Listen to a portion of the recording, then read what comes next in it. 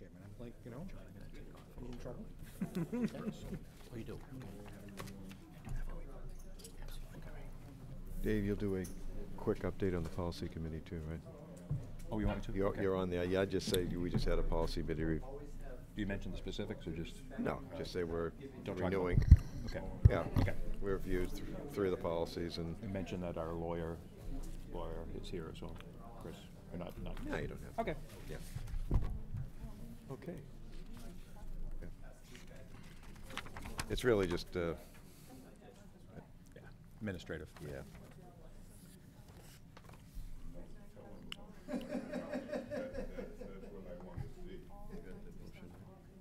Motion for what?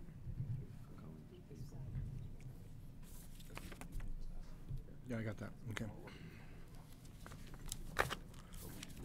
You wanna go to that first?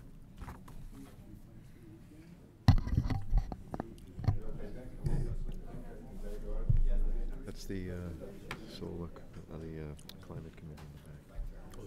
Yeah, so we need to be nice to them, but not commit to. Okay.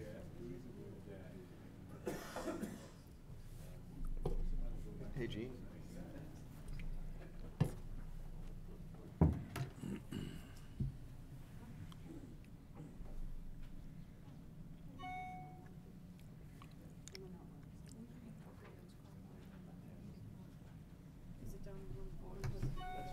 Oops. What the heck's that? Oh. We'll share. Je- Je- Gene, I can share. Okay. Okay, good evening, everyone. This meeting of Reading Municipal Light Department, the RMLD Board of Commissioners, is being broadcast uh, at the RMLD office at 230 Ash Street in Reading. Uh, Broadcasts are available only in Reading due to technology constraints. The meeting uh, will be videotaped for distribution to community television stations in North Reading, Wilmington, and Lynnfield. The RMLD Board of Commissioners recognizes the importance of hearing public comment at the discretion of the chair on items on the official agenda as well as items that are not on the official agenda. We ask that all questions or comments from the public be directed to the chair and that all parties, including board members for RMLD, uh, act in a professional and courteous manner when addressing the board or responding to comments. Once recognized by the chair, all persons addressing the board shall state their name and address prior to speaking. It is the role of the chair to maintain order in all public comment or ensuing discussion. Okay, we, uh, we have a number of uh, guests here this evening. I'd like to uh, acknowledge Mark Doxter, uh, also Ray Porter, Peter Ladecchia, David Zeke, Jeffrey uh, Everson, and Ron Dario. So welcome all, and thank you for uh, participating. We don't have a Citizen Advisory Board representative at the meeting tonight, so acknowledge that. And I'm going to ask to start that John Stempeck, John has to leave for previous engagement, uh, but we just. Dave- Dave uh, has to- J- Dave, sorry. John's staying for the whole meeting. stay, Yeah. right. You was a big smile when I said that. Yeah, well, yeah, Okay.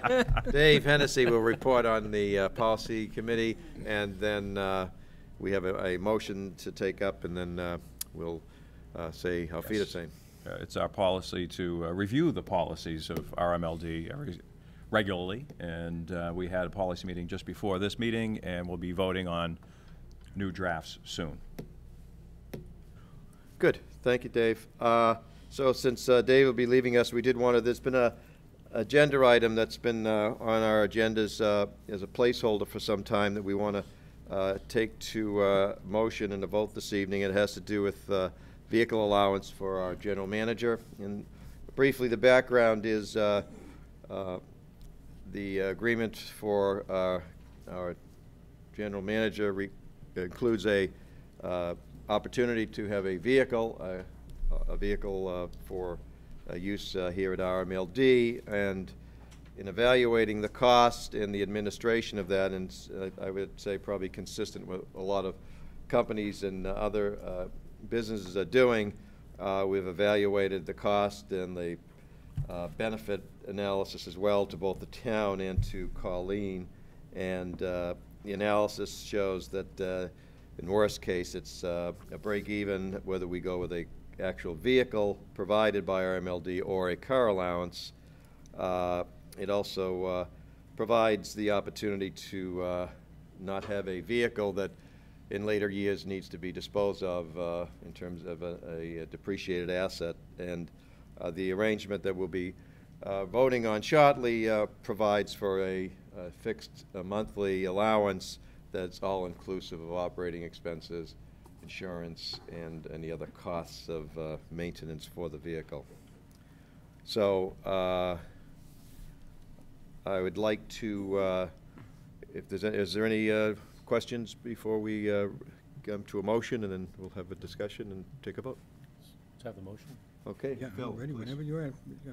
Move that the RMLD Board of Commissioners propose to General Manager an amendment to the Reading Municipal Light Department General Manager's Employment Agreement dated June 26, 2013, which will give the General Manager the option exercisable in her discretion, her or his, um, to receive a monthly um, vehicle allowance of $800 for a four-wheel or all-wheel uh, drive vehicle, which amount would also cover capital, operating, maintenance, and insurance expenses.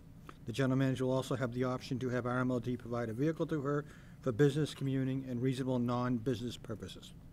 Second? Okay, any discussion? Uh, yeah, Just a quick discussion, that Yes. the other way to look at it would be that this would be approximately eighteen thousand miles at, at the federal rate. So I think when you add commuting, reasonable personal and all business, uh, it's, it's probably, probably, I mean, from what all, all we've discussed, probably Yep. about right. And it, uh, we've also provided uh, the opportunity to go back if for whatever reason, uh, uh, after a year or whenever we deem, uh, talking to Colleen, that it's more advantageous to use a company vehicle, uh, we have that option as well. Okay, other comments? Okay, None appearing, we'll take a vote. Yep. All in favor? Aye. Oh, I did, I Second? think. Yep. Okay. Uh, Motion carries five zero zero. Thank you, Dave. Thank you. Okay. Uh, The next item on the agenda is the uh, Fiber Optic Committee, and uh, what we'd like to do is uh, just take a vote to really uh, reinstate the committee. We've been uh, spending time analyzing the opportunities uh, that uh, fiber optics have for the RMLD, but uh, we need to make sure we have a committee that can keep the ball advanced and, uh, and uh, continue to do some work. So we actually have had, uh, as I recall, uh, Phil Pacino and And Dave Dave Talbot. Talbot. So uh, I guess a question for the, for the board, if anyone feels we need to add anyone else, or if you two are willing to serve. I'm- uh, I'm willing to serve. Continue to serve. uh, Go forward. Do we need a, uh, a date, uh, or could it be sort of evergreen until we, our work is complete, Eugene? I wouldn't keep it, what happened is you did, you did a good drop dead date, I would just keep it just a Yeah. generic, Yeah. so. Right, I would, sorry, Mr. Chairman. yeah, please. Um, We have had a couple meetings. We, we discussed this very small trial um, to explore what the cost would be without actually doing anything, but to see what it would cost to, to do a, a high-speed service to businesses in Wilmington. Just to, uh, a very tiny contract, which I guess we still have some questions about how to uh, do that quick, uh, quick and dirty analysis. So I think we should reconvene the committee for one meeting Yep. to decide how to finalize those questions on that small Mhm. exploratory trial. And then after that, it should be something that the full board is. Right, we is should report considering. back to the board. But I don't think we need an open-ended, commi- I mean, we all have a lot of meetings to attend, and I don't think we need a long, open-ended commitment beyond. Yeah, the, the only other thing I'd ask the committee maybe to look at, Dave and Phil, is uh, uh, the feasibility, because I think we decided to kind of, let's get a toe in the water and see Right. what makes sense. But I think we also learned from the last presentation that we may need a more robust, uh, at some strategic point to make, you know, longer-term decisions, a more robust survey, you know, that would be more inclusive of the other towns. So maybe that can Right. be included in the discussion to, as a recommendation back to the board. Can I make a quick comment? Yes. Um, We did have someone that Hamid and I spoke to, uh, and there seems to be a little bit of concern about what the scope is. Because what, what I felt like was identified in the scope in, in the commit, in the fiber committee, I, I'm not sure that was conveyed properly to this potential consultant. Okay. Um, and so I think if we reconvene, I think what this, what we want to get out of this, this small, um, whatever. Yep. um, So that we're, so that we're clear. I have no problem implementing it, but I think, I thought I heard the scope, and then when we talked to this gentleman, it was different, was it not? There was a bunch of changes, and I didn't feel comfortable, and I wanted to go back to the committee and say, okay, you sure this is what you want? So let's, Okay, So we. you got it. Yeah, so we can certainly handle that at, at a committee meeting, and I, Yes. I would just say that after that, I don't know that we want to have a law, open-ended committee that meets endlessly, and right. Right. I think the board should either look at the future and the future infrastructure as a board or, or not. Good. Okay. Excellent. All right, so you want a Okay. motion, Mr. Chairman? Yes, please. I'll move that we, uh, I'm going to say, I would say reinvigorate, but we'll use the word reinstate Yeah. the fiber optic committee. Second? Yep. Okay, For the discussion? purposes of one meeting, or? For the purpose, well, uh, let's, let's leave it open at this Report. point, you know, because after one meeting, we may decide we need a second, just in case. I would hope we could do it in one. We, there was a time when we didn't want to have endless committees, right? I There was agree. a time of I like agree. tidying up and not having committees. I agree. Making major policy decisions. We, we, the board, that's the board's job, so. So- I think so- we should have a sunset after a month, so we'll have a meeting. Okay. by the time of our next So let me, board let me, meeting. let me redo the motion then. I'll move that we reinstate the fiber optic committee with the mandate that it have a report back to this committee by the September meeting. Hmm? Hmm? Fine. Okay. Okay? Good.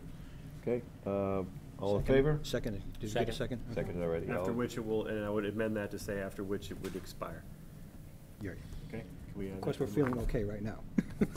Well, you know, we had two committee meetings and, you know, we're still noodling around with this Okay. nine thousand dollars. I'm only kidding around, come on. Okay, we good? Yep, we're good. All in favor? Okay, motion carries four zero one. Yep. You want to go back to the top of the agenda? Yes, let's do that, Phil. Okay. Okay. Um, Public comment. Oh, yes, public comment. Do we have any, uh, You guys are welcome to exercise your public comment powers. yeah, some are here, some are here, I know, uh, Dave, uh, the Climate Committee's here, so you're welcome to comment. Now, we also have uh, a presentation on uh, solar, is that right, uh, discussion? Correct. And during, So if it fits in, we can, so you, if that helps in terms of setting it, I don't want, I don't want to take away the option, but Mr. just, Chairman, just to clarify, Yes. during the solar comment, we can have a g- a give and take with members of the community during that presentation or directly after? Yes. So that, that can also serve as the time to, to talk and communicate. yeah. Okay, good. So as long as people will be here, that'd be great. Yes, Hi. I'm Gina Snyder, I'm an associate member. You got to come to the Climate microphone. Committee. to the Yes, come up, microphone, please. Because of the TV. yeah. Welcome back to the DS. Yeah, welcome back. Hi. Um, I'm an associate member on the Climate Committee, and I am very excited to hear what Tom has to say, and the Climate Committee is really excited about this concept. So hopefully I'll be able to make more comments later in the meeting, but I just wanted to set the stage for a real exciting presentation. Thanks. Okay. Thanks, Jim. Tom, you, that's, uh, you want to go back you, Tom. room and prepare some more? are you okay? Okay, good, thank you. Any other uh, comments? Okay, so, uh, Phil, how are we doing? We okay? We're doing. All uh, right. I'm report up next on the CAB. Okay, uh, yes, uh, Yeah. Ready? yes. All right, I attended the September, uh, September, try again, the June 1st, 2016 CAB meeting, when actually they had presentations on the community solar update and the uh, RMLD electric service policy and requirements handbook, so I won't, I won't steal anybody's thunder.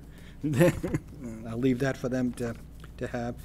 Um, They also discussed the uh, the attend- attendance at the NEPPA uh, annual conference this year, and they had some discussion on um, the uh, generated up in North Reading, particularly some of the uh, discussions around some of the things the town is looking for. The town is actually looking for them to pave the driveway and that, and that's kind of one, an open discussion at this point with the department, so. And that was kind of the, the gist of the discussion. But the main point was the solar, the community solar, and the, uh, the two items that are under article, uh, under uh, item eight on the agenda tonight. So I'll let them, let them speak for themselves. Great. Uh, Just, I forgot to announce, uh, since we took some things out of order, not only is John not leaving, John is uh, going to be our secretary today. Thank you very Okay, much. John? So you have to stay the whole meeting. I will do that. Okay, thank you. Uh, Just a point of note for those who aren't familiar, the Citizens Advisory Board, or CAB, uh, we don't have a representative here, but each town that we serve here at RMLD has a representative that uh, meets, uh, they alternate, they sit in on our meetings, and we also, as Phil did recently, sit in on their meetings. So each town has representation uh, to MLD, and it works very That- effectively. That reminds me, there's one of the items they, they wanted me to convey back.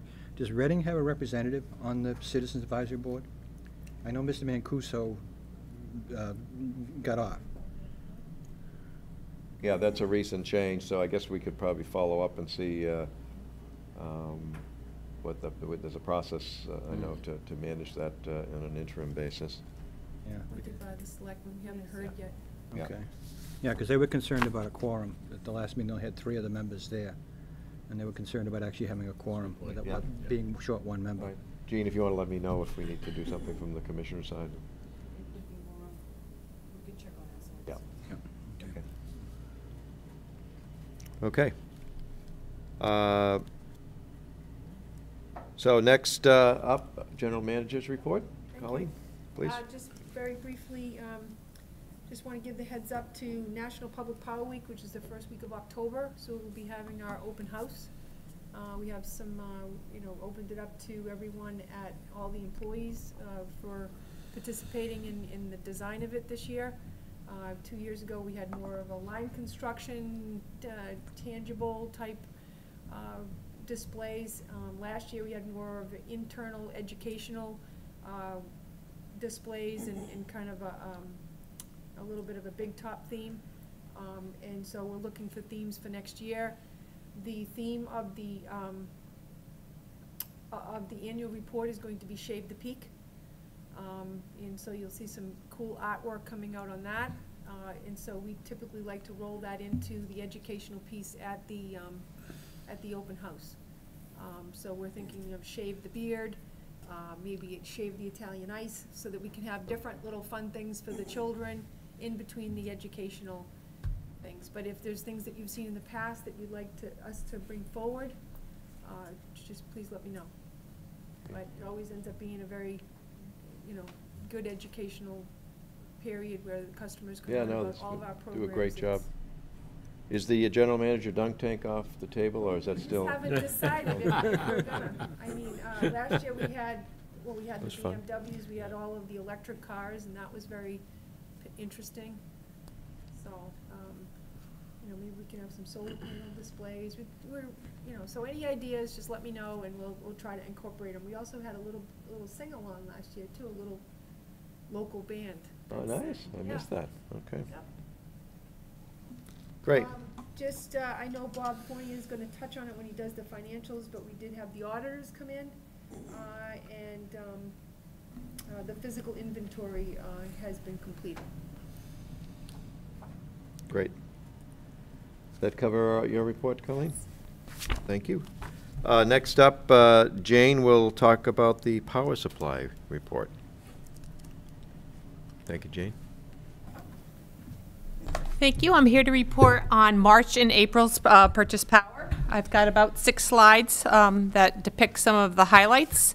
Uh, The first slide looks at the kilowatt hours purchased for the month of March, uh, going through 2012 through 2016. Um, As you can see, uh, there was a significant decrease this this past March. We had about a 7.2% reduction uh, in our kilowatt hours that we purchased. Um, And then on a preliminary side for the fiscal year with some estimates in there for May and June, it looks like our uh, annual sales are down about 2.7%, so a little less than 3. I know when we did the forecast last year, we had anticipated about a 1% decrease, um, so that's about 2% higher than we had projected. Um, the next slide looks at the energy, or our energy costs for the month of March. Again, the, the span being 2012 to 2016. Um, as you can see, it ranges from a little under 6 cents that occurred in 2014 uh, to a low of uh, just under 4 cents, which was this past March. So costs have been coming down, and that's reflected in a lower fuel charge that we uh, assign to the customers on the monthly basis. Um, The next slide looks at transmission for the month of March, um, and this is increasing steadily as we have spoken in many meetings. Um, Transmission is projected to increase on the range of 6 to 10 percent annually. Uh, If you look at 2012 to 2016, uh, there's slight variations, but it's def- definitely an upward trend in terms of transmission costs, um, and that are passed to our customers. Uh, for the month of April, that completed the first quarter of the calendar year or the third quarter of our fiscal year. Um, so the next three slides looks at energy capacity and uh, transmission on a quarterly basis. Um, um, this particular slide um, yeah, talks about, uh, reflects the energy costs, um, as, as typically occurs in New England because of the natural gas constraint. Uh, our energy costs are high in the January, Feb, or the winter period. And as we get into warmer weather and shoulder, um, those tend to go down uh, significantly in March and April. Uh, The next slide looks at uh, capacity costs. Um, The is a little different here. The range is between 1.4 and 1.6 million dollars a month. Um, So those are pretty consistent uh, over, over the first quarter. And the final slide looks at transmission for the quarter, um, and that typically fluctuates. It's based on our peak demand, uh, and the rate uh, is, is steady. And so that goes from um, a range of about 834,000 to a high of 996 uh, for the first quarter. And that would complete my report for purchase power. Okay, uh, questions? Just Chuck? one question, Jay. Um, We talked about this before, I'm sure, but the uh, transmission costs are going up. Is there a root cause for that?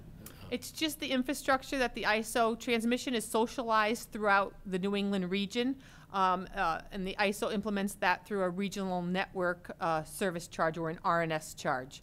Um, as transmission companies build more transmission, uh, all of the ratepayers within the New England zone, uh, pick up that increased cost. I see, so there's added capital that they're putting into the system. correct. And, you know, we've been fighting at FERC, uh, the, the return that the transmission companies are able to earn is in excess of eleven or twelve percent. So we've been working with our legal counsel to try to get that down to a more reasonable, just and reasonable rate, closer to ten or eleven percent. And so we are working on that front as well. Thank you. Good. Thank you very much, Jane.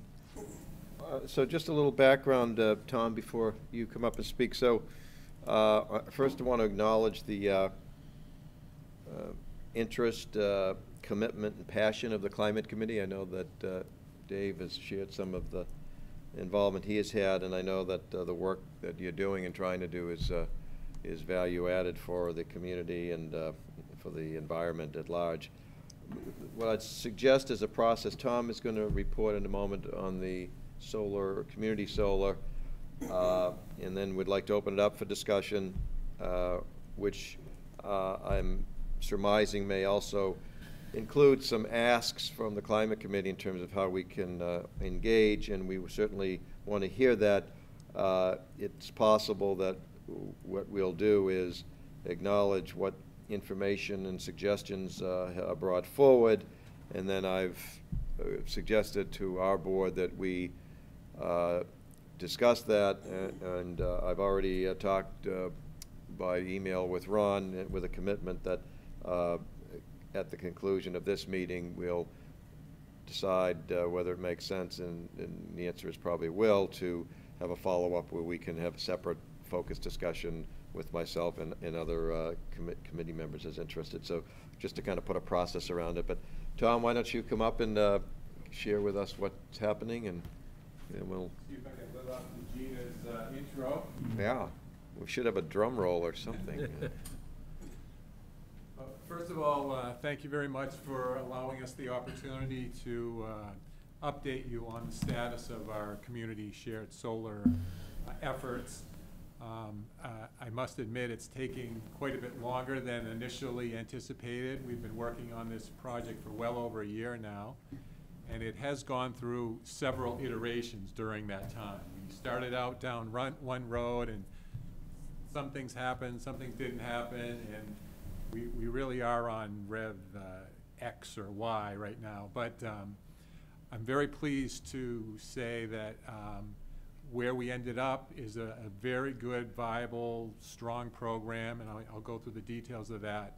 but uh, we feel confident that we're ready to launch the program. And hopefully, after today's discussion, you folks will agree with us and we, you can give us the final go-ahead and we can start publicizing the program later this summer.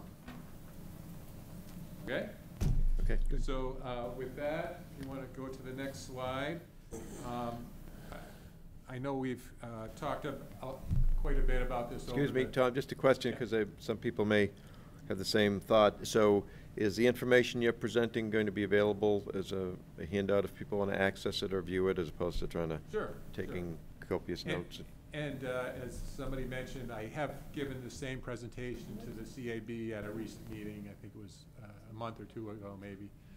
Um, So uh, this is the same presentation we've gone through with them.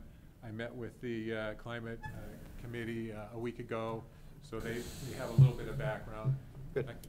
Um, So, uh, but every time you hear the same information, there's always new slants on it. Yep. And we're, you know, that's why we're here to answer questions on the, the details. Any uh, strong program, the, uh, the real success is in the details and how you implement it. And I think we've been working with this long enough that we feel very confident that it's a strong program that stands on its own and can, uh, you know, hit all of the uh, initial goals that we had for the project.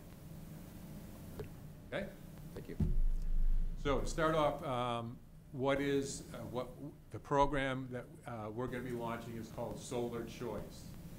And What is Solar Choice? It's uh, RMLD's implementation of the more general concept of community shared solar, which is a a concept that's been around for five or 10 years now in different parts of the country. It's still relatively new in Massachusetts, but several communities and, you know, individual ad hoc groups have, have had successful community solar, solar gardens or community solar uh, projects.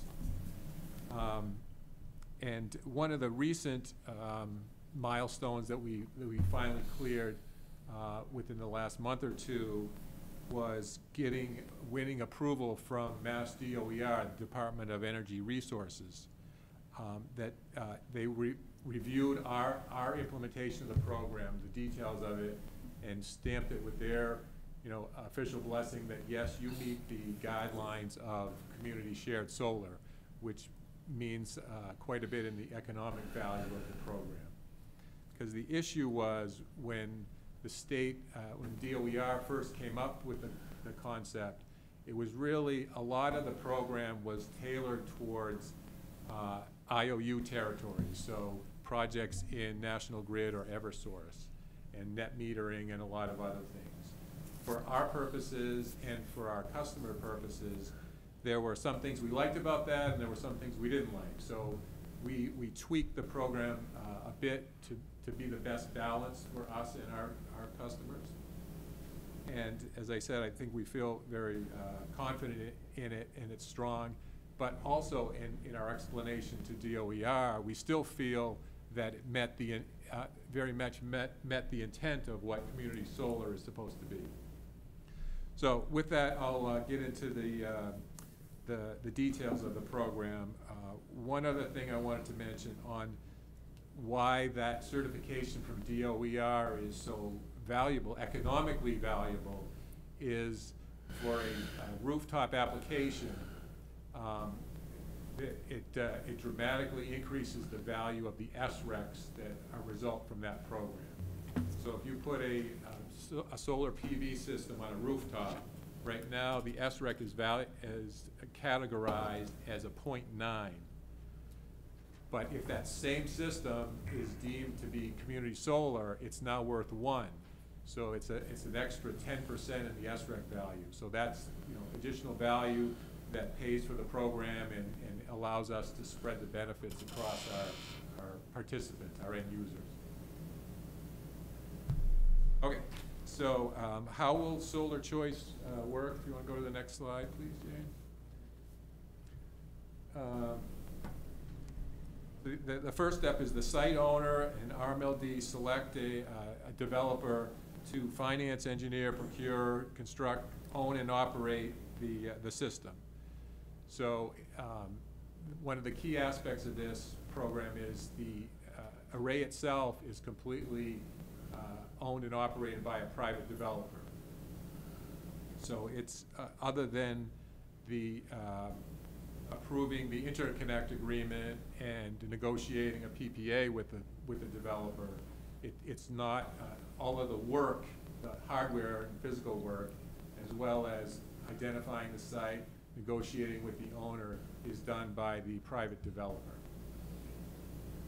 Um, And then uh, RMLD negotiates the PPA with the developer, approves the system specs, the interconnect, um, and then we uh, solicit residential customers to join the- the program. This is an opt-in program. That was one of the requirements from DOER, was it had to be an opt-in program. You couldn't spread it around and say, okay, it's gonna just benefit everybody.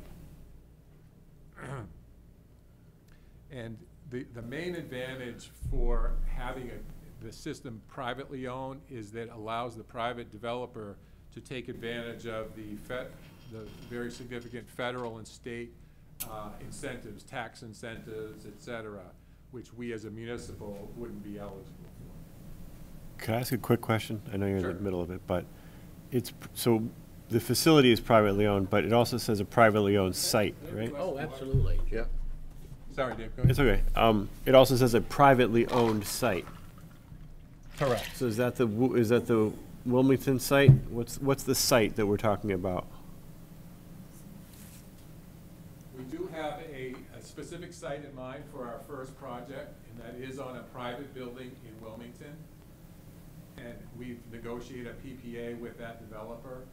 Um, I- And the developer has an arrangement with that site owner that they, they get a lease payment for essentially leasing out their roof. Okay.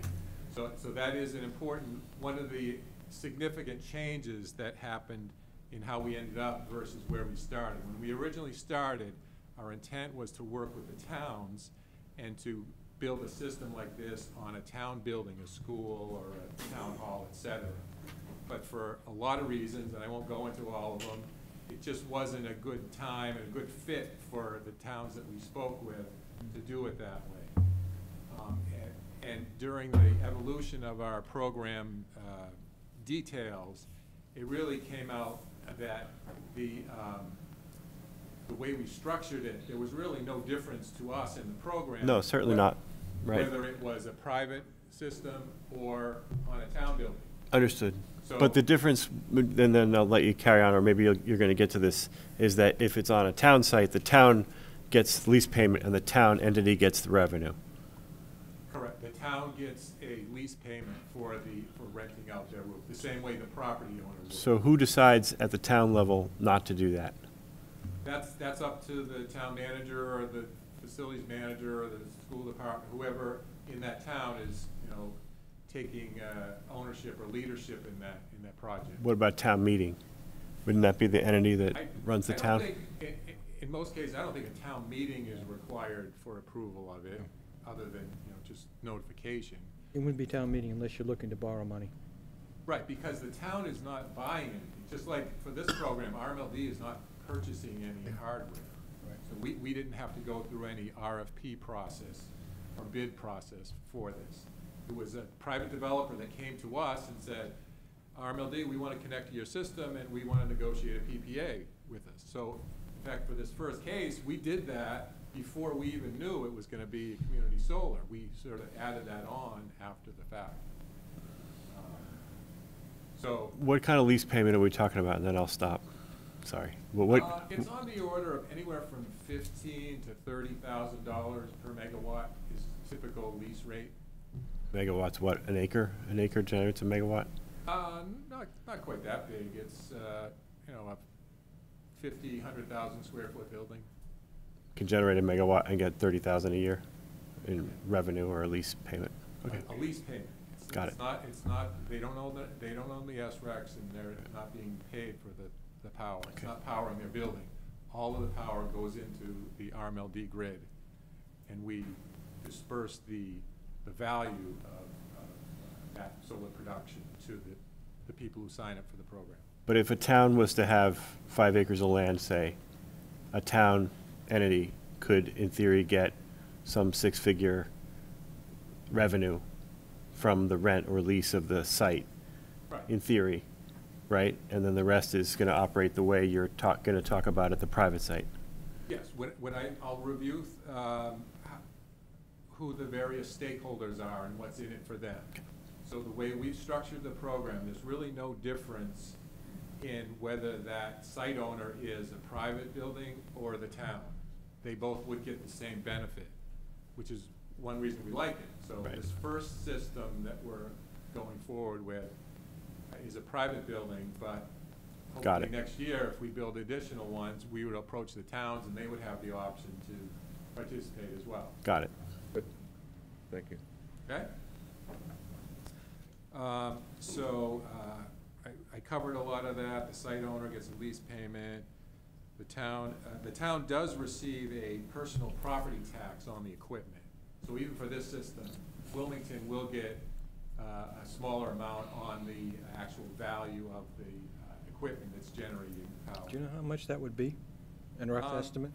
I believe it's on the order of uh, one percent of the value of the system, and and in this case, it was maybe five or ten thousand dollars a year, maybe something like that. Is that a Wilmington-specific thing, or? Yes, that's up to the town, uh, the tax assessor of each town, and uh, it- it varies quite a bit, but there's been enough solar built in the state that they're starting to become more of a, a standard on that. So if- theoretically, if Jordan's and Home Depot agreed to do this, in theory, that could be, Reading could get that personal, That's uh, right. that- that Yes. tax. Exactly right. Okay. Exactly. If it was done on private as opposed to town land, for example. Exactly right. Yep. So the, the point is, So it- is that, the point is, is that the capital could be put up by the private developer. Right. You know, there may not be the capital in the towns to put up this money. Right. But if the private developer puts it up, there is a benefit to the town. Got it. And that's, you know, this is the way I see this thing should go, toward the private. Yep. I agree. Mm, yeah. Okay, if you could go to the next slide, please, Jane. Okay, that's a good transition, that this, this shows the, the various stakeholders in the project and, and who gets what, what's, what's in it for them. So that first line, the site owner, as I mentioned, for this first system happens to be a private property owner, but that could be Reading High School or Lynnfield Town Hall they receive a lease payment for renting their property, whether it's a rooftop or a parking lot space or a solar canopy. Um, If it's a solar canopy, the, a benefit, a side benefit to them is the protection of the vehicles and the shading and all those kind of, more intangible as opposed to economic benefits. Um, As well as, uh, long-term, they could have the opportunity to purchase a portion of the, the output. So they, they could uh, become a uh, solar choice participant. For this first program, we did decide to limit it to resident, five hundred residential users. Um, So for right now, we're not, we're, we're not intending to open up the program to commercial municipal end users. But certainly, if uh, enough people are interested, we, we probably will end up there.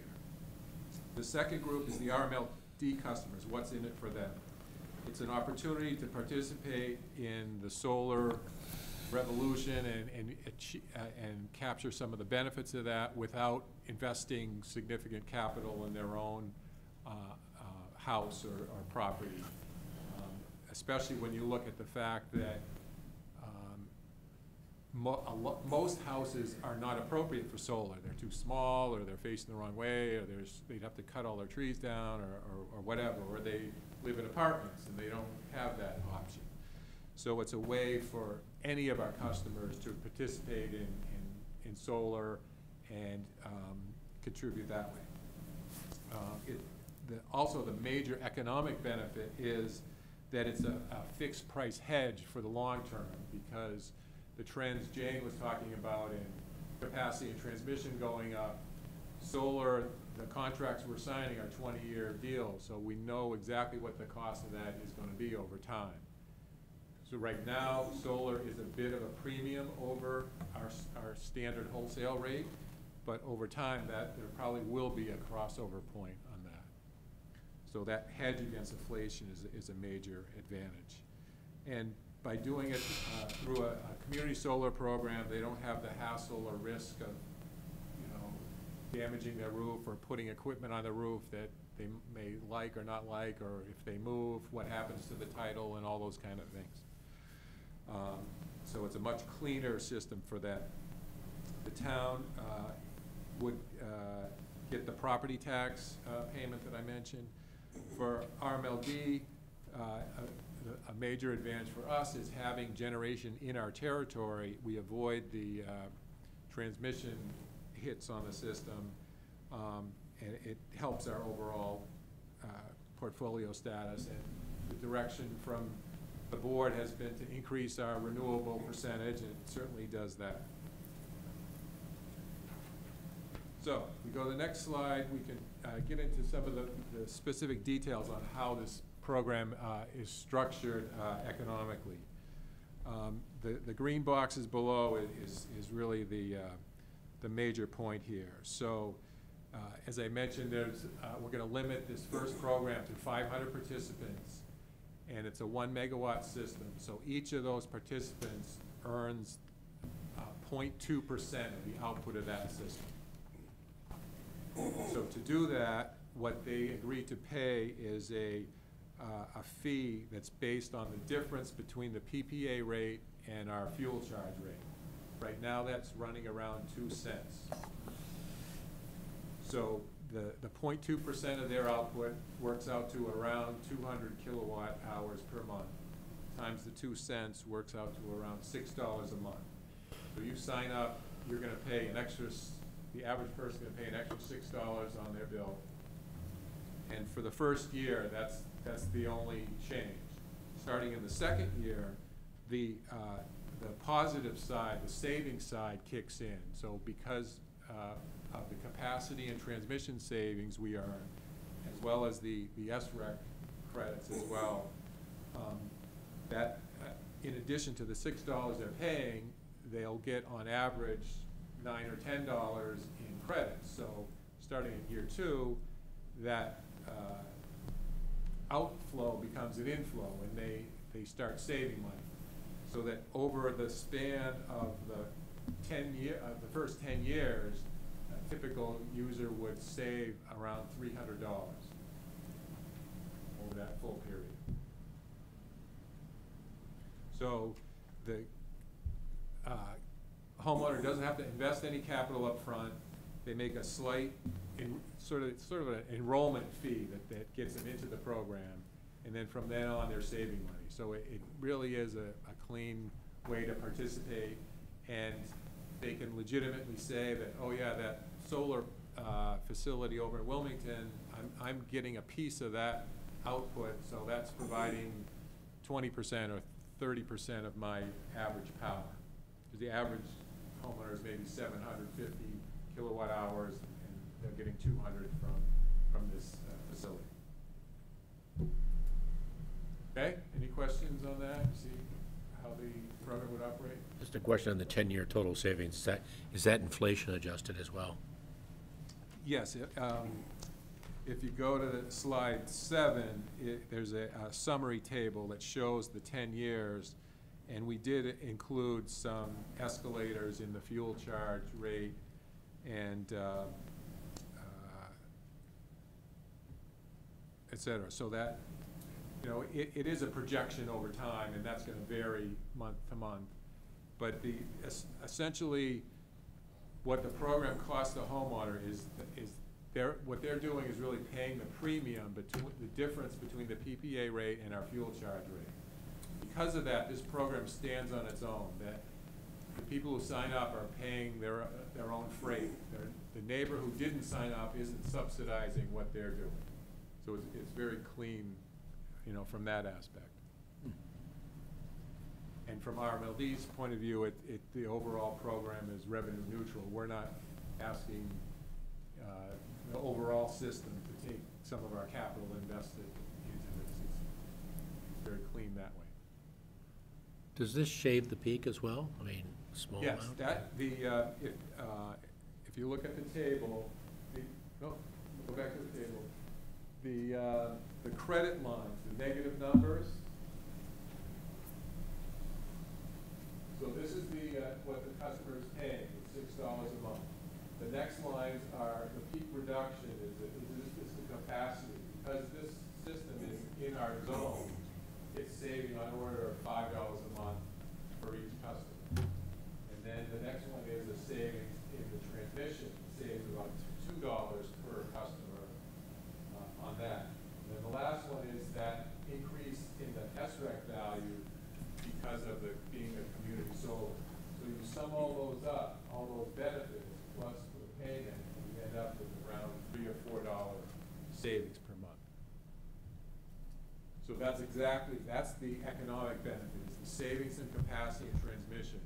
So we're taking that pool of money and dispersing it amongst the, the uh, participants.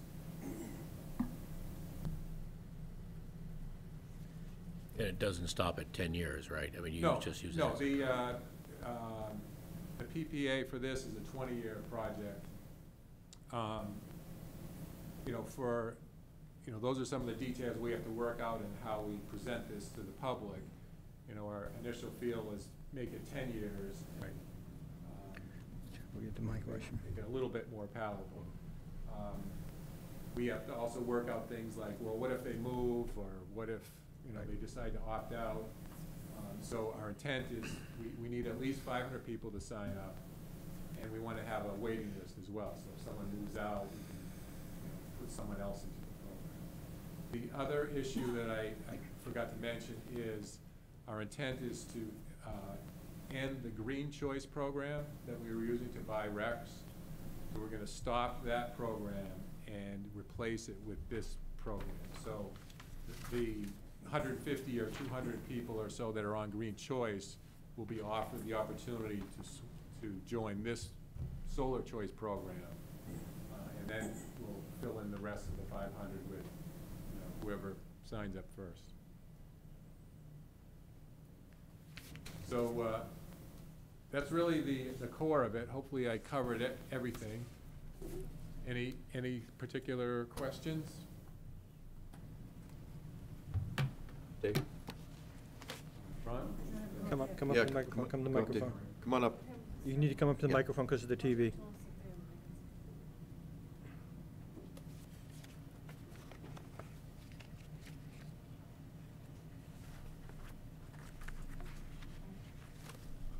Up here. Yeah, come up here, Dave.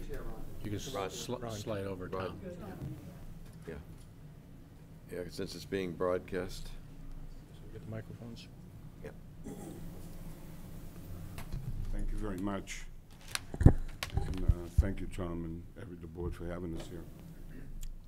Uh. First of all, the Climate Committee is just, uh, I- I'm, I'm chair here for another three hours and 40, 39 minutes. All right. So I'm still demanding respect from the committee, but uh, that's not going to be here for long. First of all, we're, we're totally behind it, and we're delighted to see that solar's coming to our, RMLD. And uh, I, I, Tom uh, O'Leary did a great job presenting it to us and answering all of our questions, and I want to thank him again for coming. Um, We, uh, when we look at solar, uh, you know, part of the, part of the savings is also emissions. Uh, When we uh, look at, you know, we look at global warming and what's been going on, we look at what happened, uh, we just had a big international climate meeting in Paris, as I'm sure you know. And, uh, I mean, even the Pope has got in on it, on his encyclical, and and I'm not gonna take too long, Tom. No, no, you, not gonna take too long. oh, please, you But, um, and we also know that our state is actually mandated to reduce its CO2 emissions uh, 25% below 1990 emissions. So that's quite a, quite a reach by 2020. Um, So we're delighted to see kind of a shift away from fossil fuels. And with solar coming down so quickly, like, I don't know what the statistics are, but like, the cost of solar's gone down like eighty percent in the last ten years. I, I, don't quote me on that, but it's a big number. And, um, the other thing that, uh, I just saw on the news the other day, maybe you saw it, is that, uh, Tesla batteries now. Uh, Vermont, one of the big Vermont power companies is putting 500 Tesla batteries in different residential homes with the provision that they can draw from it during peak load. It's like they're five kilowatt systems. And you don't even have to have a solar panel. They want any resident buy the battery. The battery's charged during off-peak hours, and if you can use it at home if you have a power failure, but if they need it during peak load, they can draw it. The other thing is that it's estimated that possibly in five years, battery storage is going to come to a point where somebody with solar could almost be independent, almost, could have enough that might be able to make it almost on his own. So what I'm kind of looking at, just personally, uh, I- you, you may know, and you probably know even more than I do about it, but New York and even Massachusetts, apparently, the big power companies have attempted to decouple, they've tried to decouple the way they make money away from just selling kilowatt hours and capacity and transmission. So that, be- because ultimately, if we stay with that paradigm, you eventually, right now, there's not much solar in our area. But it could happen, five years, that penetration could start to be hurt. It could be affected. And, and what's going to happen with the same paradigm we're on is that you're going to be in competition. So you're going to you're going to try to fight it because, well, you've got to pay your bills, you've got your, your, equipment, you've got all this stuff. And naturally, so what, what I think the climate committee is looking at and, uh, is how do we reconcile that so that we're all on the same page? I think we all know. I mean, when you look at global warming, you, you got to say something's going on worldwide.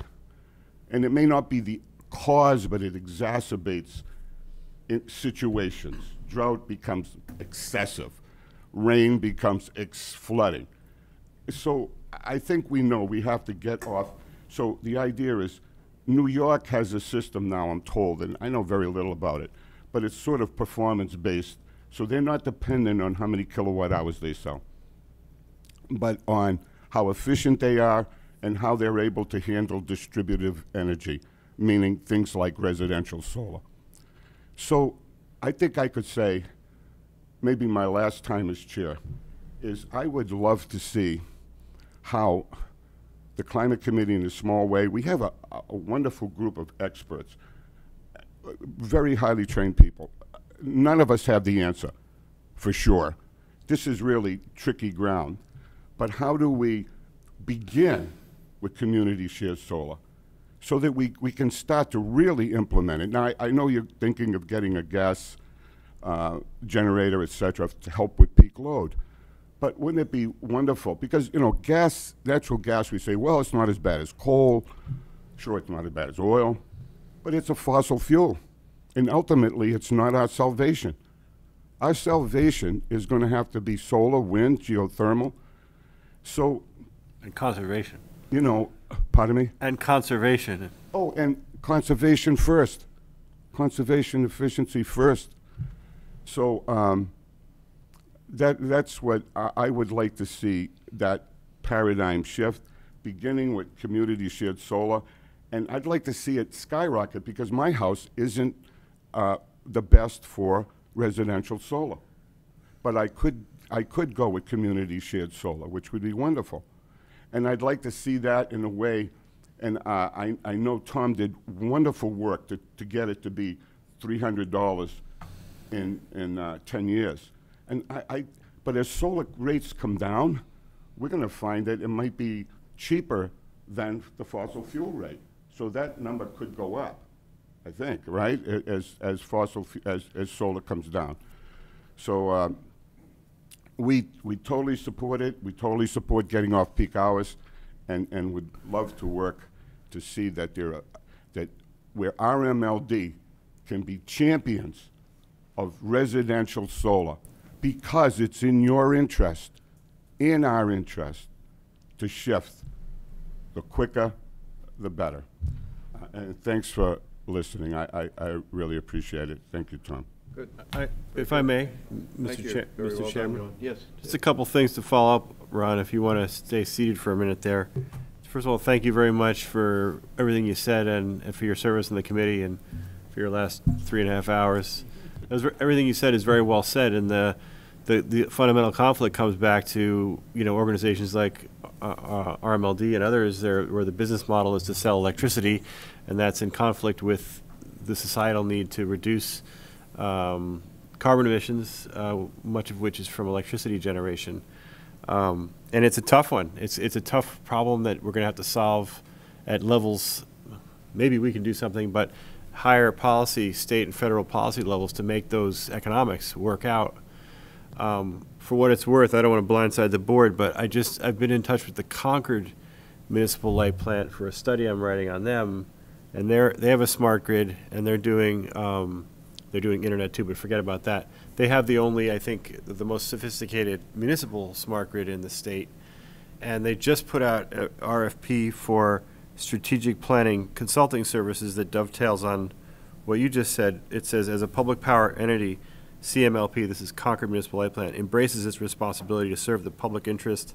We recognize the public interest imperative to protect our current and future customers from the profound consequences of climate change.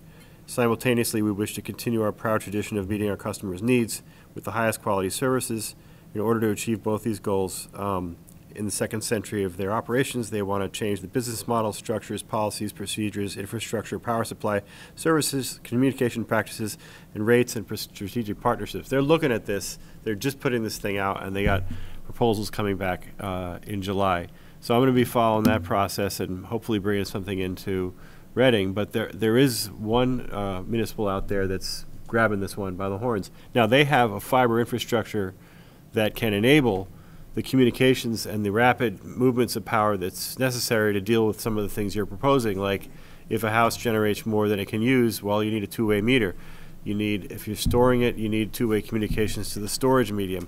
You need all kinds of stuff, and I know Hamid um, is, is working on, on how we can start doing that here. We do not have a smart grid infrastructure in Reading, but with fiber, we could, uh, we could start to have one with, with a more robust loop. So I'm way, I'm way out, way out of, le- out in new territory here, but I just want to say that I hope that we can advance as a board these topics.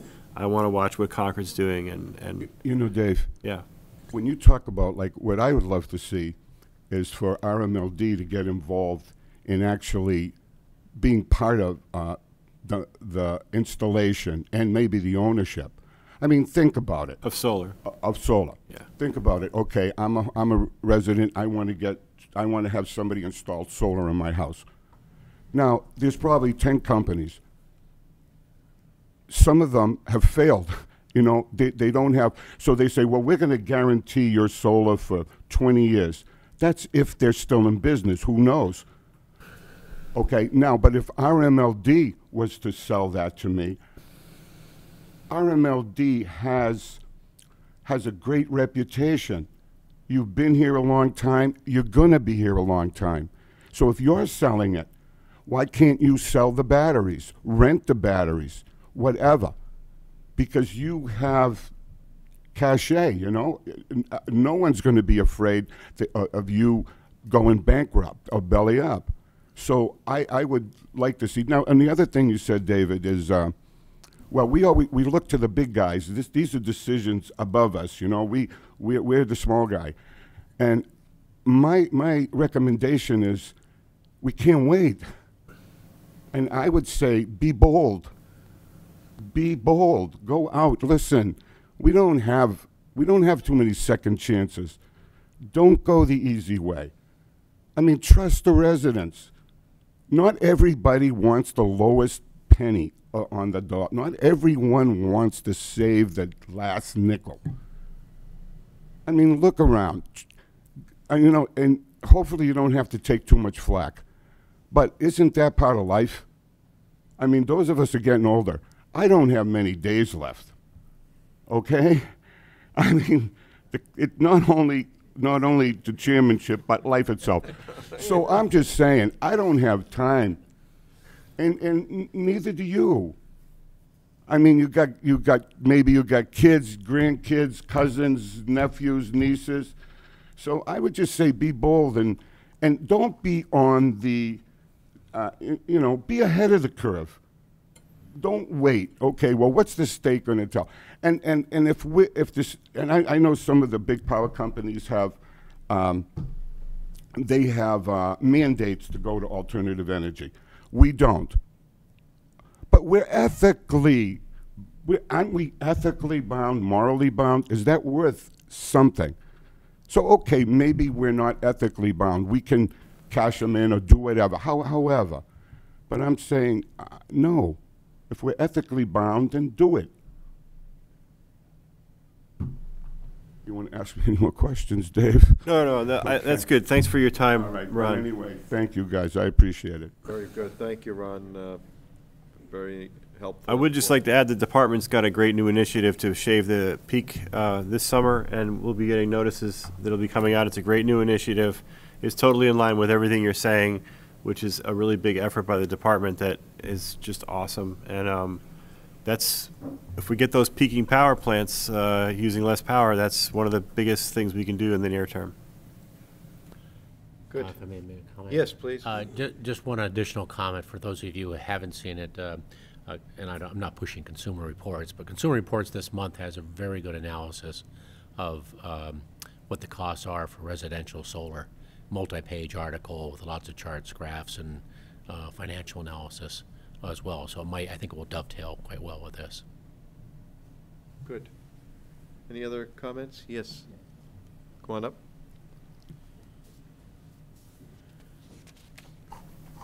Phil, can you email them more of the H2O?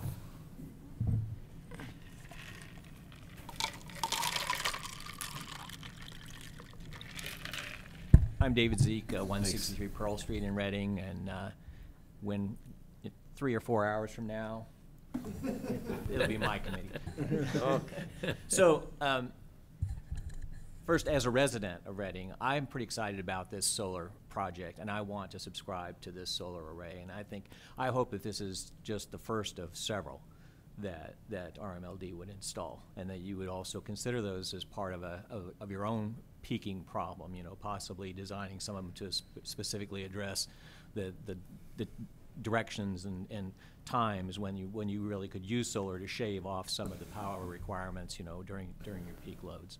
And I was, I was really impressed with Tom's presentation. He came to our committee and explained it to us. It's obvious that he's put a huge amount of effort into it. He's thought it out very well, and, and yet the presentation is crisp, and it, and it explains, I think, quite well how it, how it will work. Um, I'm a little disappointed that the first installation is not Reading, but uh, I'm more excited that, that, that there is, that it looks like there's going to be one, and I'm hoping that the second one is maybe not too far behind that. As a member of the uh, committee, the Reading Climate Advisory Committee, I, I would like to echo uh, some of the things that, that Ron said. Um, the Climate Advisory Committee is currently um, looking at its own action plans for, for the future. We're going through that now.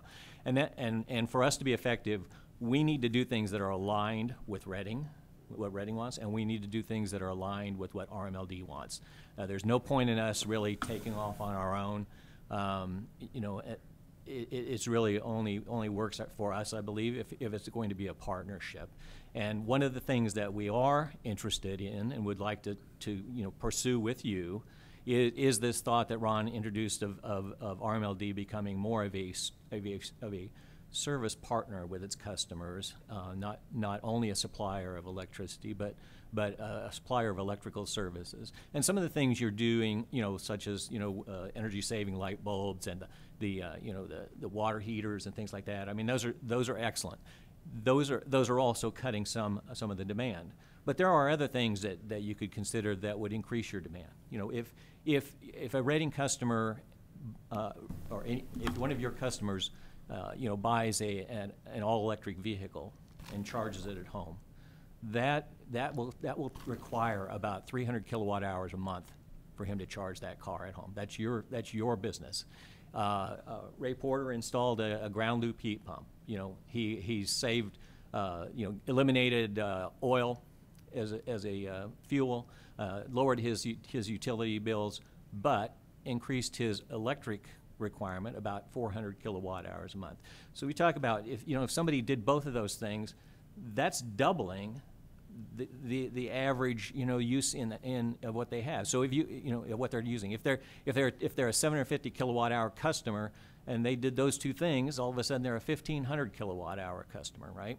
Even, even with whatever savings that allow them to dial it back, they're going, they're going to be requiring a lot more energy from you and that's more business for you. So I think there are a number of these things where your involvement, not just accepting that they might do that, they might put on a solar panel, they might, you know, put install a battery that they got from Tesla or somebody, and they might, you know, go go buy an electric vehicle. That RMLD could be leading that charge, and it could be a part of your business model, your business plan, and um, and make you a partner with with all of your customers, not not just a supplier.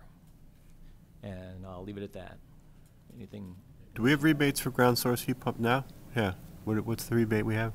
Yeah, we currently have uh, rebates for both of those uh, products. We have, uh, for electric vehicle charging stations, uh, on the residential, commercial side, we'll pay up to half the cost of the charging station, uh, including installation, and that's capped at fifteen hundred dollars per, per installation. And uh, for geothermal, we currently have a rebate which will pay up to forty-five hundred dollars uh, for the, for the installation. So we currently do have programs that encourage those. How many people, sorry, I don't mean to jump out of turn here, Tom. Um, how many p- people have availed themselves of the ground source heat pump Uh, rebate in the whole history of the rebate? Yeah. That's, Uh, too- yeah, it's too bad. Yeah, it's too bad. So I think that's a terrific start, and, and I think it could, it could be bigger, right? It could be, it could be something that makes it, makes it- I mean, I, would- we, we could use a charging station in downtown Reading, right? I mean, That- That's been put in the capital budget, the six-year capital budget for the next four years. I mean, I think some of these things, it, as, where they dovetail is, if you can be promoting ground source heat pumps, you don't need our permission to go promote it because it helps everybody. It helps reduce carbon emissions, it helps, we got the rebate, we, we get the increased electricity sales. You know, I mean, I think everybody would love it if there was advocates out there for this technology and, and that people understood the issues and then availed themselves and went to the work of doing it. You know, I don't know with Colleen or anybody can force somebody to put a ground source heat pump in, but it, it requires massive education and granular level education and property developers. You see a couple houses going in, what are they putting in, in a brand new build? Probably not a ground source heat pump, but they could be. So it's, you know, we have the incentives, so Yeah, anything. I think, I think it just needs to go a little further, right? So the, uh, it- we, we, we want to promote these things. You- know, our committee wants to promote these things, but we want to promote these things with your participation, you know, so that it's not, so that, Right. so that, so that, you know, to get, we're both pushing it. You know, Sure. it's in your newsletter, it's in our news article. I think the ground source heat pumps already, we're already got that and we're already promoting it, so, yeah, so. But, but if there's only ten, then, then evidently it's not, it, it- you know, it's Right. not, it's not go, getting Right. there. So, you know, and i- as we speak, the Senate is debating amendments to the omnibus energy bill, right? And, but, and that's gonna affect the whole power infrastructure in Massachusetts. But a municipal light company is a, is a, is its own entity and has the, a power to do things on its own, perhaps experimental things, but to move things in a way that are optimal both for the local business, for the local communities, and, and the local customer base, um, that, that are maybe difficult for a national grid or an Eversource. Eversource is, you know, wrestling with, uh, you know, regulations and what does the law require, and that by, by, uh, you know, a week from now, there'll probably be a whole long laundry list of new laws and regulations and requirements that they'll have to, to be raking through. Uh, uh, RMLD has some flexibility that, where, where we could actually um, step out in, uh, in ways that maybe would be very difficult when we talk about the whole state. Anything else? Good. Thank you, Dave. Yes.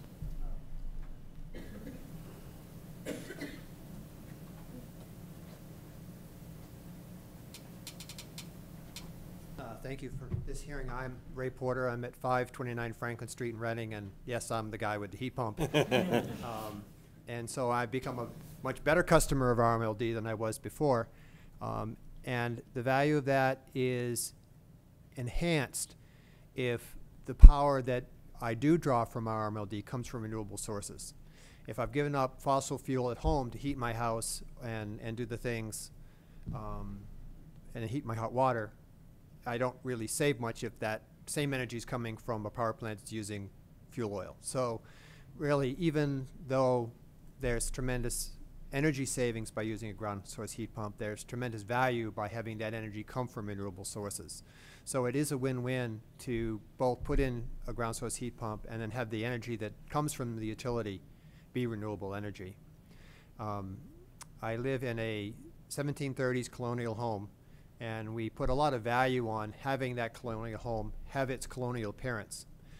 And um, I'm not an expert in history, but I don't remember very many colonial homes with solar panels on them. The pilgrims didn't really bring that over on the boat. So um, I, to keep the value of the home, uh, I haven't gone solar on my house, although the orientation. No SRECs. There were no SRECs, unfortunately. Um, yeah, or else I'm sure they would have, um, if they had that offset. Um, so in, in keeping my wood shingle home and my clapboard uh, house, I, I haven't done that. So this is an opportunity for me uh, to engage in a way that I'm perfectly comfortable doing. Uh, put in solar, I've done LED lighting, I've extensively insulated the home to try to keep it energy efficient, which is not easy to do when the walls are only this, this wide. Yeah. Um, but we've done a lot of that, um, and so that's important. And I just want to follow up on, on one point. Um, yeah, we are a committee which works with the town of Reading. We certainly want to advise the selectmen on things that are uh, in interest of the uh, town of Reading, but also want to do things which are interest uh, of the residents of Reading. We feel we serve them also. So to be able to talk about energy, uh, renewable energy projects, whether it's uh, community shared solar, whether it's an individually financed or, or installed solar, uh, ground source heat pump, um, all of those things are things that, because we're sort of in me- members of the community, in the community, with the, communicating with the community through uh, various channels that we do. Um, David and I will be appearing on uh, the Reading TV in one of the uh, upcoming um, town events.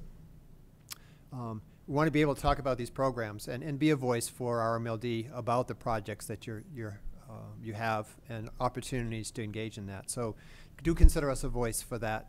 Uh, we do want to play that role on your behalf and talk about those projects. Thank you. Thank you very much. Okay, well, great, uh, great discussion, and uh, we certainly appreciate all the feedback, and uh, on behalf of all of the commissioners, thank your committee, and we will certainly uh, take all the input very seriously. And uh, we'll try to move the meeting along. I'm guessing they want to take you out to a special dinner. since it's your Last evening, but, uh, They're gonna do that after I go home. Oh. Okay, great, well, thank you very much. Okay, uh, next up, uh, we have uh, the, uh, oh, yes. Oh, yes. Sure, come on. Come on up. Sorry that, didn't see you. Thank you. I'm uh, Mark Doxer from 110 Beaver Road.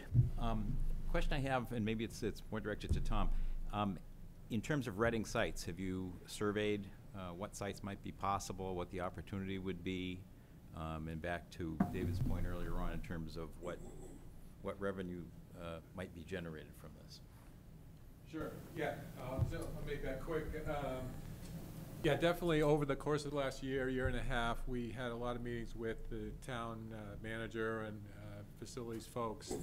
And we looked at a specific, in fact, the, the cover photo was supposed to be Reading High School with the canopies in the parking lot. So, so there's definitely at least three easy, easy sites that could be solar arrays in Reading. But, you know, every, every project is a, is a mix of, uh, potential and investment and, you know, logistics and, um, so, so there's definitely potential there. Um, Like any project, the, the best first thing you should have is a champion. And, and that was one thing that, you know, didn't really emerge in any of the towns, is someone at the town said, I wanna do this, I wanna do this, and really force it through. So, um, hopefully, uh, like any new concept, once we get one project in the ground and working, it'll be a showcase that the other towns can look at that and say, oh, that's not so bad, that looks great, we can do that. And the second and third and fourth system should be a lot easier. follow that up, it, in looking at that picture that you were showing, um, how much space is that, how, how much generation space is that? What, what sort of revenue could it generate to, the I don't, or lease payment to the town? Uh, the, the one that was, uh, a combination of rooftop and canopy for the Reading High School was about one point three megawatts. A little bit larger than the, the first system we're doing. Um, and I, I think it was thirty, forty thousand dollars in revenue, something like, something on that order. But, but you have to, you have to remember that the town is not buying anything or coming out. investing anything. It's, they're just allowing the use of their space and getting, you know, a payment for it. Right. So, And the risk, um, it sounds like the risk is owned by the private group? correct, the, the, the liability, liability, the insurance, all that is on the developer. And the developer is signed a PPA, so they only get paid if they deliver power. So the impetus is on them to keep that system working. You know, if, if a panel breaks or something happens, that, they're not getting power for that, getting paid for that. So it, it is a good system that it, I think the incentives are in the right place. Thank you very much. Thank you. Good, thank you, Mark. Good. Tom, thank you. Good, good discussions. Okay, next up, we have uh, RMLD Electric uh, Service Policy and Requirements Handbook with uh, Raul Shah. Raul, welcome, and look forward to hearing from you. Thank you, very- thank you very much. You're welcome. Oh. Yeah, uh, from last few months, uh, I had, I have been, I had been working on, um, on developing, you know, but with that, with bunch of, uh, employees from each group. I had been working on creating like a electric service handbook, which would include almost each and everything that, you know, we as an internal team or people or, you know, as a company can refer to, as well as the external, external people to contractors, customers. So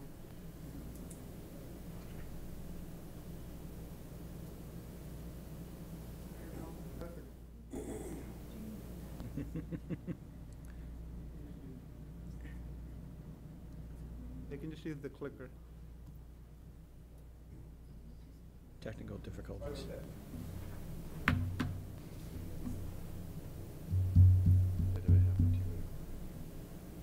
Well, once in a while, sure, it happens in every presentation. Paper doesn't go away. Sorry about that. Okay. So I, I just have a few points highlighting this document. So this document will be effective, actually it's tomorrow, with July first. All right. So start off a new fiscal year.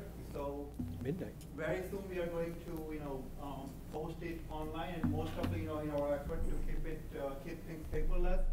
We'll have probably one or two copy, you know, that uh, in the office that will be accessible by, you know, customers, contractors, as well as our own internal, uh, people. But otherwise, uh, it, it'll be available on our website. And, you know, like I mentioned before, it's basically beneficial to customer, architects, and engineers, uh, other, you municipal inspectors, like every town has wire inspectors, so they can even refer to what our requirements for our, our, as an RMLD, like as a electric utilities, as well as the requirement for that particular town or any other regional or national electric code. Um, of course, our own employees can use it too, and this basically provides a very convenient reference uh, as an informational guide. So you know, for, uh, it, it it can it it can include include everything from um, new residential service to a new underground, you know, service, overhead service, uh, high voltage systems or temporary service, uh, from safety prospect to billing payment. Even, it includes uh, each and every aspects of, you know, the way we do business as an electric utility. And it basically, like I mentioned, it, it addresses all the safety, responsibility, and reliability aspects of electrical service. So who is responsible for what? As a residential customer, what are they responsible for? What is their responsibility to protect? What they should be protecting and communicating with us accordingly if they see anything unusual. At the same time, you know, how uh, how as an electric utility, what we are responsible to protect in terms of equipment and our assets, and uh, keeping public safety in mind. It will, of course, it will improve communication and coordination between RMLD and its customers. So mainly, it basically, it'll be more like a bridge that'll, you know, that, that'll provide a lot of information and to RMLD as well as to customers in terms of, you know, what, what we need and what we need to get job done. So this will actually, this will actually, this will actually make, it- make it a very easier for RMLD and its customer to work along with each other because a lot of this information will be available to them online, so they don't have to make a lot of phone calls and go everywhere looking for information. Um, and it has, uh, so altogether, this, uh, this handbook is about one, one seventy-three pages.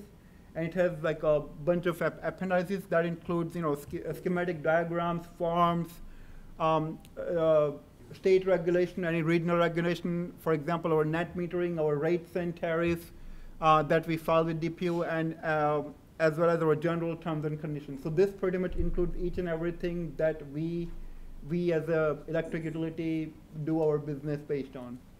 And, you know, of course, it, it reflects RMLD standard practice and procedures, and it does not include, it, it may not refer or, you know, s- uh, or offer solution to an, each and every problem, but it'll definitely, it'll definitely help people put in the right direction on where to look for what kind of information if they cannot find it on our website or in the handbook.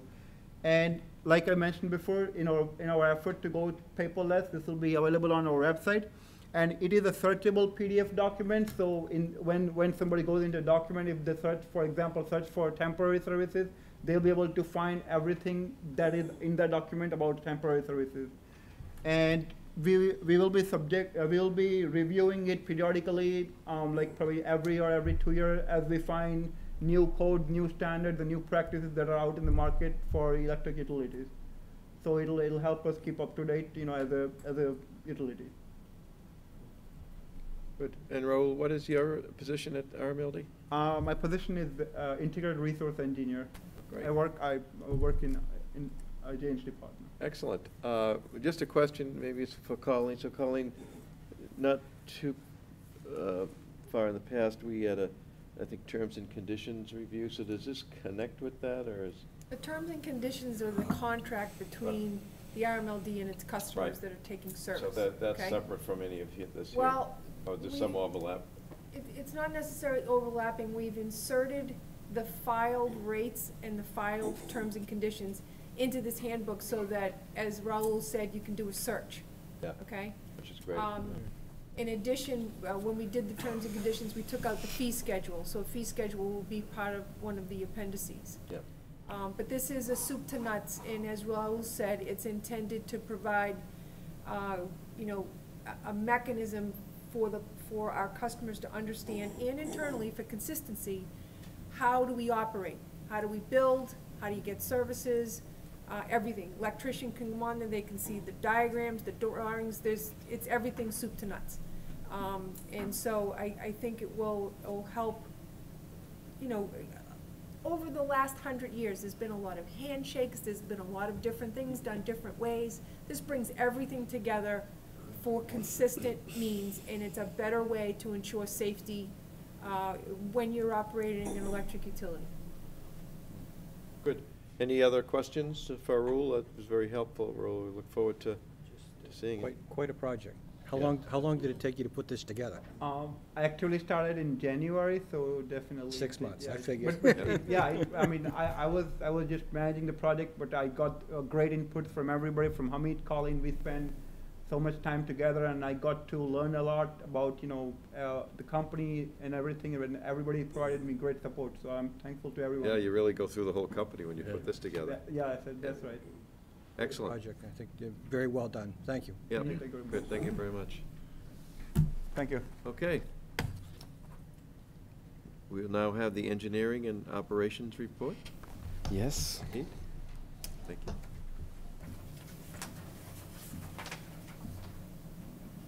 Good evening. Good evening. Uh,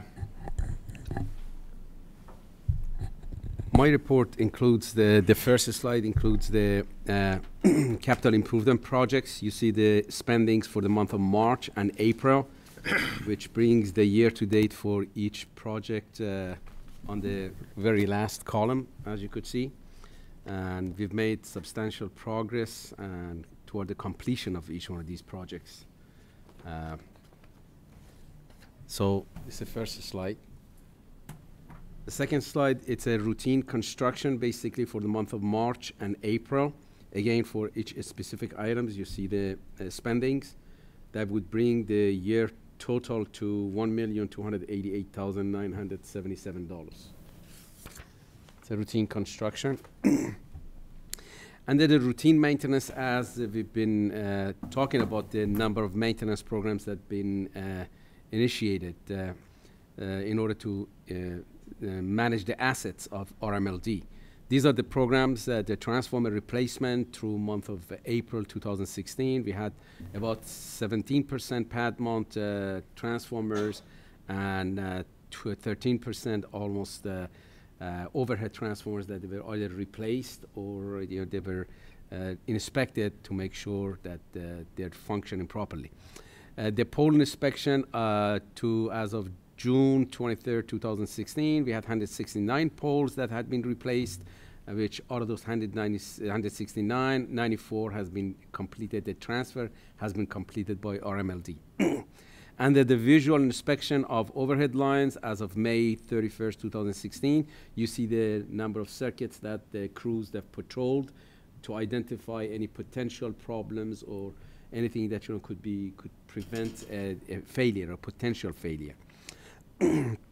under the manhole inspection program uh, through April 2016, uh, we completed uh, 277 manholes.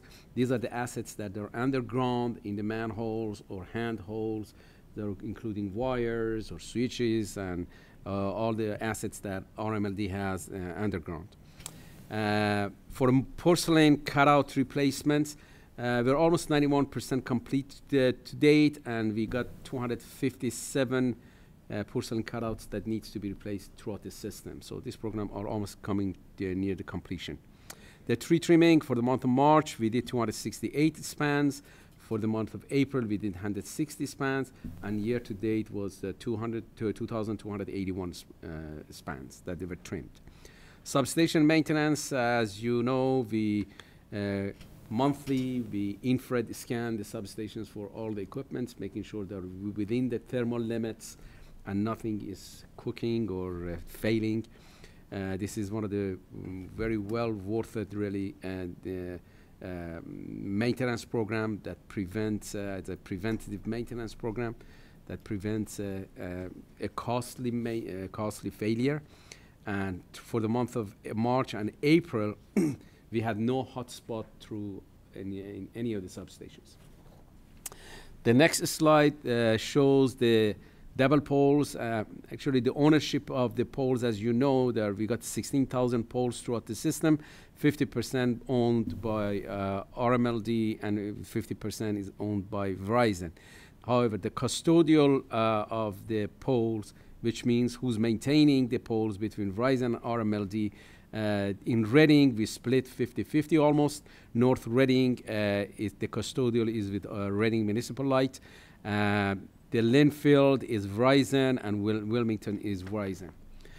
the next slide shows the program NJUNS, which uh, we use with Verizon, Comcast, uh, so we can share the data who's got to do the transfers, who's got to set the pole, who's got to re remove the pole butts, and all of that. And as you see for the town of Lynnfield, the Reading, North Reading, and Wilmington, each party knows that uh, what they should do. So when you install the poles, the first uh, to install and or do the transfer is RMLD, then it would be followed by the Comcast and Verizon, and uh, the last and uh, fire alarms, and then the last person uh, who is doing the transfer once, depending on whose uh, area that is and who, uh, which area, which custodian falls under whose custody, uh, the pole butt is going to be removed by that entity, which either us or Verizon. For of Lynnfield, RMLD, we had about 14 uh, four transfers that needed to be done for the month uh, for the Reading town of Reading. We had uh, 48 transfers and pulling the poles out of the ground. We had 13. Uh, for North Reading, we had 18 transfers, one pole set, and 46 uh, pole removals.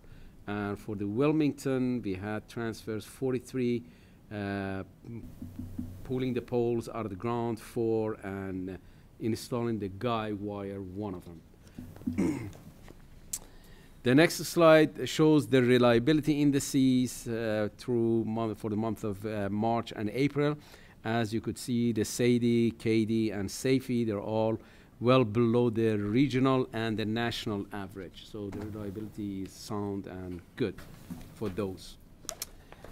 The last slide is the outage causes, which shows really what really caused those outages for the month of uh, uh, March and April.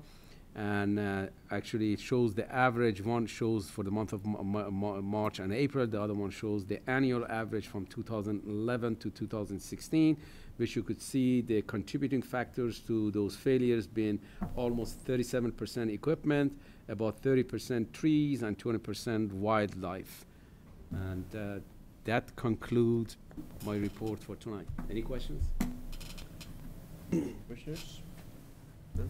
Quite No, complete. Was good. Thank you. Yeah, Thank very, you. very thorough. Thank you, Hamid. Thank you. Okay, next up, our financial report. Uh, Bob?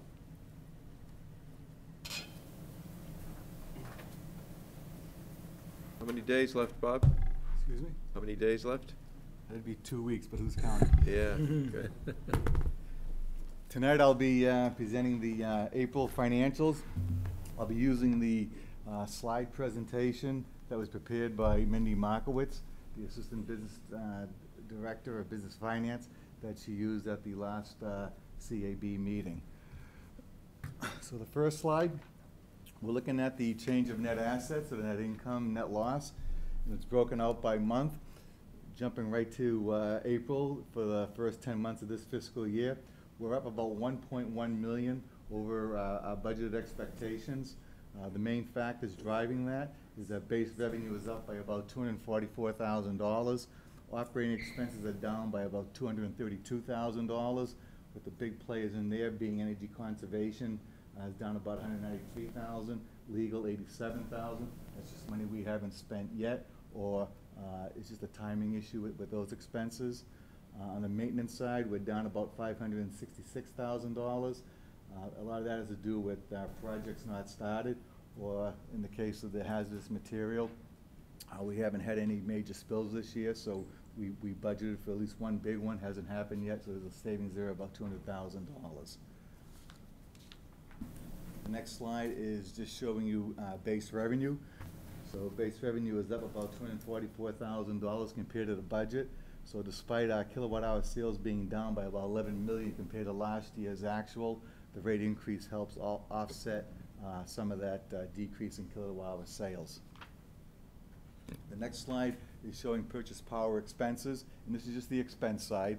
Uh, As you know, we prepare the budget uh, in the springtime. Uh, We don't have all our numbers for the upcoming fiscal year at that time, so uh, this is just showing the expense side where we are. Probably more importantly is when we look at the financials, how close do we compare the budget to the actual? And through April, uh, the PPCT and the fuel are supposed to be pass-throughs, and the two of them net out pretty close. So uh, overall, when you look at that net income number, that number's high. There's not too much swing from uh, any fuel adjustment or any purchase power, capacity, and transmission um, variance causing that increase in income.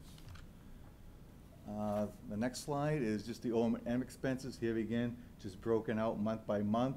And just to reiterate, the, the savings in there were uh, energy conservation by about hundred ninety-three thousand dollars coming un- under budget. And there again, that pertains to, uh, you know, we collect the money monthly uh, with, with the, with the specific charge. And we, we try to give the, the money back based on the uh, conservation programs that we have. And we just have that uh, buffer in there right now uh, compared to the budget. Transformers, again, about two hundred thousand dollars. Tree trimming, about two hundred thousand dollars. Here again, that, uh, and we budget for it, it includes for any emergencies or uh, storms. Just haven't had anything big like that, so here again, we got some potential savings there. Legal's down about eighty-seven thousand dollars, just haven't had to use legal. And those are probably the, the, the main drivers on the O and M side. On the last slide, looking at cash, have about thirty-five million, of which a little more than a third represents the operating fund. And then you can see, uh, the other cash accounts, some of our restricted, restricted accounts, and some of our reserve accounts that we have on the balance sheet.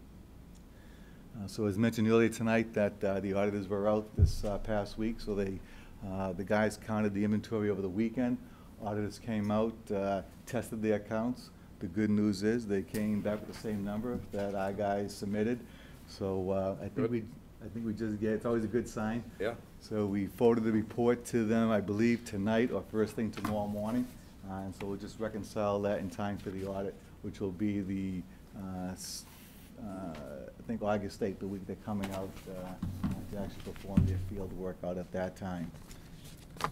Uh, Lastly, uh, Mr. Stempeck had asked for some, um, what do I gotta do? Oh, pass them out? Okay. So Mr. Stempeck had asked for uh, just some ratios and some bad debt analysis. Oh, great. So Thank you. I called uh, four of the utilities, I just notated them uh, as MD, w- M- MLD one, two, three, and four. Um, And I have RMLD present there. I think you also want to know about bad debt. So what I did was, uh, I asked them to give me their DPU reports, and the number, the team number represents the, the calendar year that they submitted it for to me. So I just basically looked at the revenues, the expenses, uh, uh, operating income and net income. Uh, um, As you can see, uh, our percentages aren't really that far off compared to these other four utilities. Um, The net income does not represent the eight percent net return. That's, that's a calculation based on plant, be it whether it's determined by gross or net. But you can just see the percentages there. There's really not much fluctuation between the four of us, even though some of them are smaller. We're, we're the largest of all the four I called, but the, the, the comparison is pretty similar to all, all four. Mhm. On the flip side, on the uh, uh, bad debt expense, uh, typically it looks like bad debt represents maybe about two tenths of one percent of the operating revenue. Uh, We're, we're below that, we're about a point one, about point one uh, percent. Um, Here again, it's kind of tough. In talking to some of the other utilities, uh, some were just, had just gone, done changing their um, bad debt policy. Um, So they, they, uh, they increased their bad debt significantly as they're trying to clean it up. Here again, it just takes one commercial account to uh, go bankrupt. That can really skew the numbers. Uh, But overall, uh, I think we're doing very well. Uh, I took a five-year average of our uh, bad debt expense, and the five-year average comes out to about sixty-four thousand dollars. For a company our size, uh, it- it's just tremendous work by our credit and collections people to keep it, keep it that That's low. great, yeah. Um, So that was, uh, that that was, that's my presentation. Great, thank you very much. Questions for Bob? Uh, Bob, uh, congratulations. Uh, You're winding up your uh, service years at RMLD. Thanks for all the support to to the board. I know you've been involved in helping with the finances for some time, and uh, appreciated everything you've done, and wish you uh, a successful, happy adventure in whatever that looks like for you. It's been a fantastic experience, and it's been a privilege to serve our ratepayers for the twenty-seven plus years I've been here. Really has been something. Good. Thank you very much. I can really- Uh, There's a quick announcement that uh, I have from Paula Sheener at uh, Town of Reading at the Town Hall that was uh, given to me to, to read to the group tonight. Last year, the Board of Selectmen formed uh, Reading 2020 working groups to begin the work on a five-year planning exercise for the town.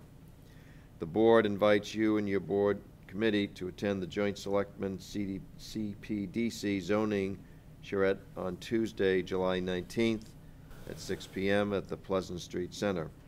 This important community discussion will help shape the downtown and other areas of Reading as we look ahead to the year 2020 and beyond. So again, that's uh, going to be on Tuesday, July 19th at 6 o'clock at the Pleasant Street Center. Okay, uh, so winding down, uh, uh, any other discussion uh, needed? Okay, doesn't appear to be.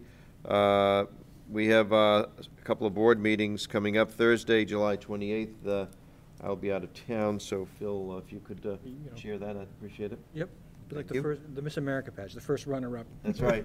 In the absence of the winner. Yep.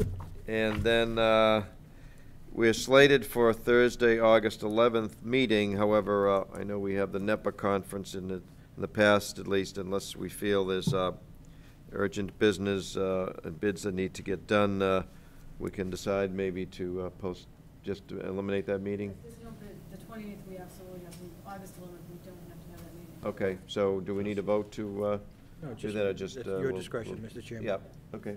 No meeting in August, uh, and those going to NEPPA will be certainly uh, coming back with some good information.